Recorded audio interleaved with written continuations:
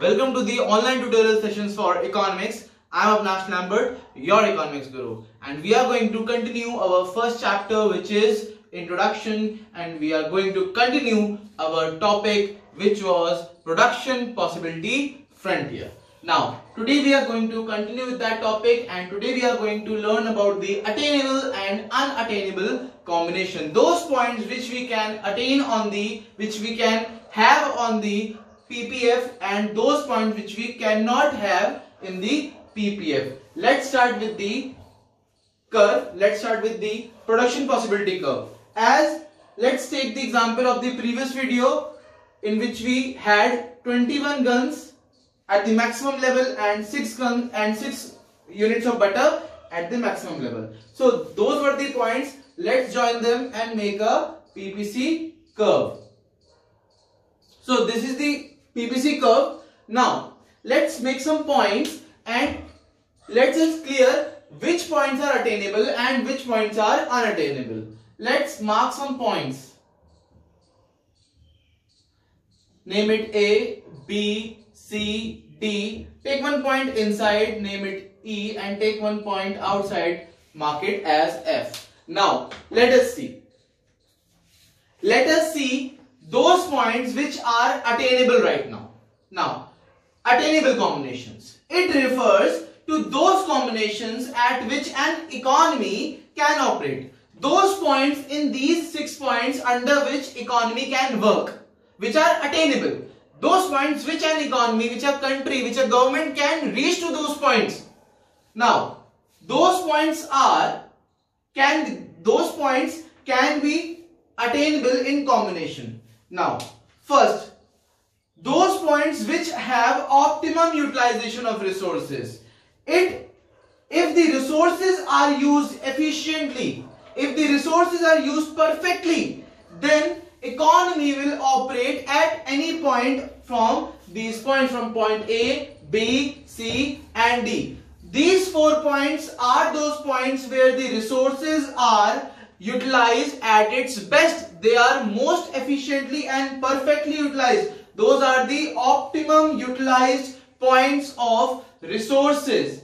That is A, B, C and D. If you take any point on this PPC curve, any point, any possible point on this PPC curve, those points are the optimum utilized resources. Those resources, it shows any point on the PPC curve shows that that the resources are perfectly utilized. And this PPC curve shows the combination the alternative combination of production of two goods that a producer can maximum produce. Is that clear? So these points A B C and D are the most efficiently and perfectly utilized resources in an economy. Let's talk about those points which are ineffectively utilized in the resources. There are few points which are ineffectively utilized but still those are attainable resources. Those are attainable combinations which an economy can operate. But those are the inefficiently utilized resources. However, actual production can fall actual production can fall short. The production which you are producing can fall short of its capabilities if there is waste and inefficient utilization of resources. The resources are not utilized in a perfect manner. If they are wasted, then the production will fall. Why? Because of its capabilities. Now, in that scenario also, the economy will work the economy will work at any point inside the production possibility frontier like point E. Like point D, any point but inside the PPC curve. Inside the PPC curve like point E, those are those points which are inefficiently utilized by the producer. If the resources and technology is not used perfectly, is not used efficiently, then points like E will be the, the points, but the economy will, will work. Economy won't stop, but economy will work on those points. But as a result, the production will fall short. The production capabilities will fall short. Now, let's come to the unattainable combination. We have completed the attainable combination. Under attainable combination, there are two types of points. Optimum utilization of resources, those points which are on the PPC curve, which are on the production possibility frontier curve are those points. And inefficient utilization of resources are those points which are inside the PPF or PPC curve like point E. Let's talk about unattainable combination like point F. With the given amount of available resources, it is impossible for an economy to produce any combination more than the given possible combination. Suppose you have resources of producing 100 kgs of rice. You have resources, you have technology of producing 100 kgs of rice. Can you produce 200 kgs with those resources? No, absolutely not. You cannot produce more than the production which you are capable of. You cannot produce more than that. So, with the given amount of available resources, the limited resources, it is impossible for an economy to produce any combination more than the given possible combination. With the maximum combination, you cannot make more than that and those points refers to point F. Like any point outside the PPF, outside the production possibility curve, any point which resides, those points are impossible for the economy to produce any combination more than the given possible combination. Is that clear? Now we can say that economy can never operate at any point outside the PPF. The economy can operate on the points which are on the PPC curve. Economy can operate on the points which are inside the PPC curve. But the economy cannot operate on the points where the points are outside the PPC curve. Is that clear everyone? Okay, fine. Let's come to the next point. The next topic for today is characteristics or properties of production possibility frontier. First, production possibility frontier slopes downwards. As you can see in this diagram, in this graph, the production possibility curve comes from upside to downwards. It falls downwards. From here it comes to here. So, PPF slopes downward. The curve slopes downward. It goes from up to down. As resources, What's the reason behind that? As the resources and technology remain same, PPF shows only maximum possible combination of two goods.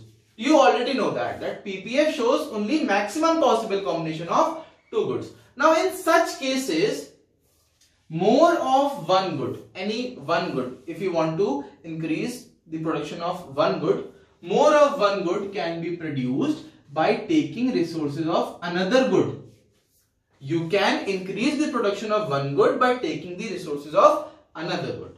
There is a inverse relationship. That's the keyword. Because there is an inverse relationship between the change in quantity of good X and change in quantity of good Y.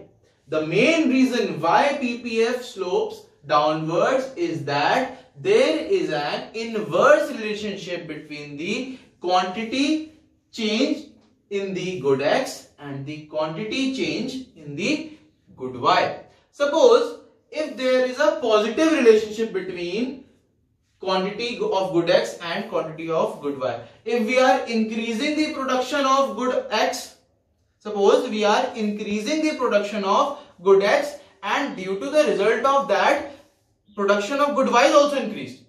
First of all, tell me, is that possible? If we are increasing the production of good 1, can it produce, can it help in the production of good y also? No, it's impossible. But if it's possible, then the curve wouldn't be like this. It wouldn't be like, it would be like this.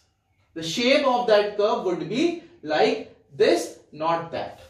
Is that clear? The shape would be like that. If there was a direct relationship, but here there is an inverse relationship. If the production of good one is increased, then the production of good y has to be decreased, has to be diminished. So due to the inverse relationship, the change in quantity of good x and change in the quantity of good y. Is that clear? PPF slopes downwards from left to right. From this point it came to this point. From left to right. It moves from left to right. It was firstly it was here then it came to here. So it is sloping downward and it slopes downward from left to right. Is that clear? Next come to the second property. The next property of production possibility curve is that production possibility curve of frontier is concave shape is concave. This is a very important property. Now, what is concave shape? The inverse C.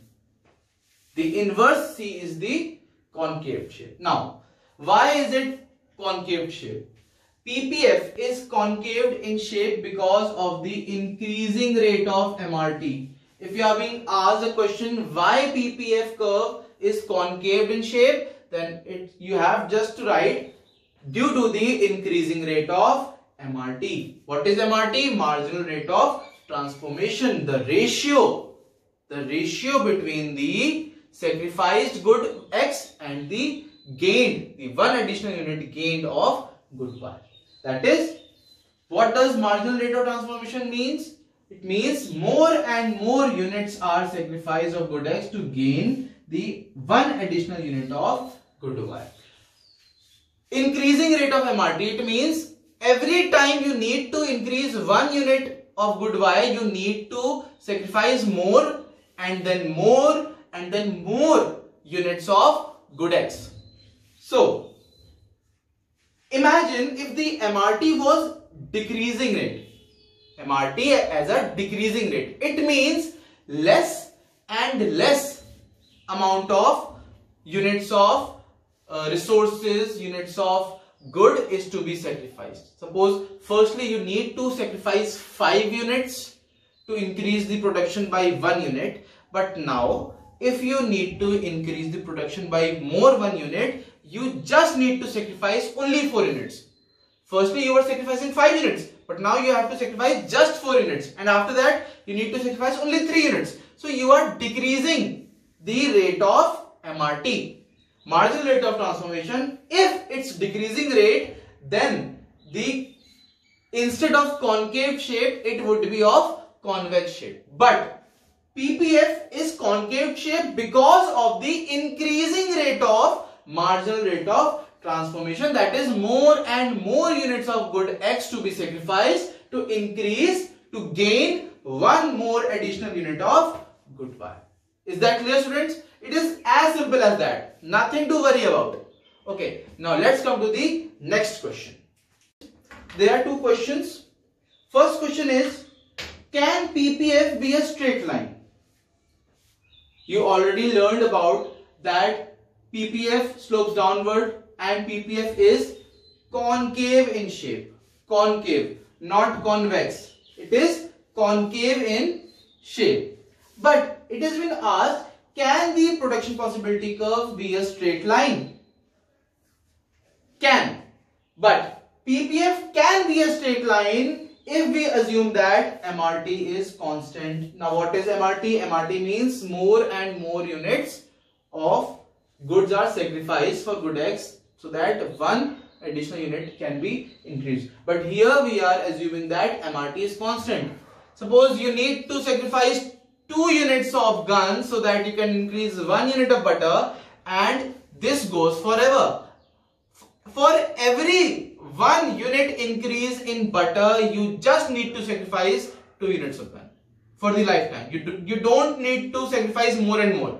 You just need to sacrifice only 2 units of gun so that you can increase 1 unit of butter. This means that the MRT, the marginal rate of transformation is constant. Only then it can be con uh, it can be a straight line. Otherwise it would be concave. Is that clear? Now the next question is can ppf be convex to the origin? Here the ppc the ppc is concave. You learned that it is concave. But here it's been asked can ppf be convex to the origin? First of all ppf can be convex to origin if only if mrt is decreasing that is, less and less units are sacrificed of good X to gain one additional unit of good Y. If you are decreasing those goods, then only you can have the convex shape. You can have this convex shape. If suppose firstly you need to sacrifice 3 units of goods to gain 1 unit. But now you need to sacrifice only 2 units so that you can gain 1 more unit and only 1 unit so that you can increase 1 unit. So due to that you see the difference first it was I was sacrificing more and then lesser and then very lesser. In that case you can have the convex shape but due to the increasing rate of MRT you have to deal with the concave shape. Otherwise there is a convex shape only if MRT is decreasing which is impossible. So this is all for this video. I hope you have covered up the whole PPC curve and the attainable and unattainable combination, the inefficient realization, unattainable combination and what is the properties, why it's sloping downward, why is concave shape and can be a straight line or can be a convex to the origin. So that's all for this video. Stay home, stay safe.